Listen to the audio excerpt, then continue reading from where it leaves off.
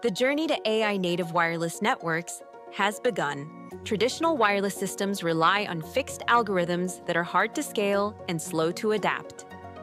NVIDIA AI Aerial changes that.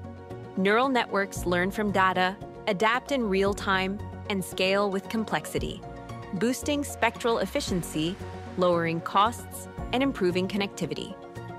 Building AI native wireless networks takes three key steps training, simulation, and deployment. NVIDIA AI Aerial unifies all three, making it easier to build, test, and deploy AI models faster. Here's how it works. We train a neural network model using NVIDIA Sionna and aerial radio frameworks. This model replaces the traditional 5G channel estimation algorithm. Next, we simulate and optimize it at city scale, testing thousands of real-world scenarios in the Aerial Omniverse digital twin. The result? Nearly double the cell throughput with AI on.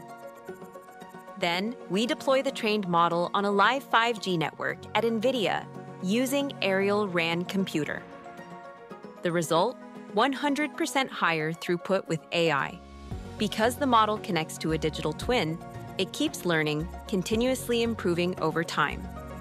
This feedback loop between the physical and virtual worlds helps the AI evolve faster and get smarter with every cycle.